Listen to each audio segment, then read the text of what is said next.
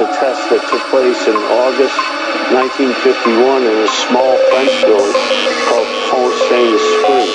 That's in southern France, not far from Marseille.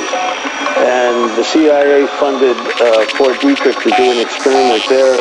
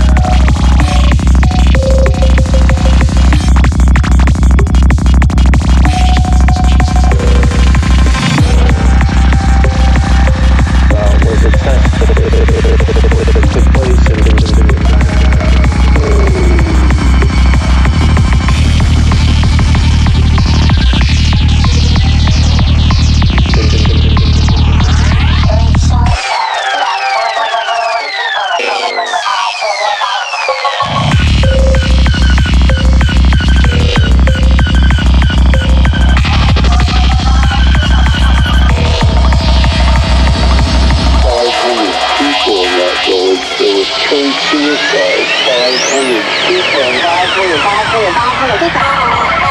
500.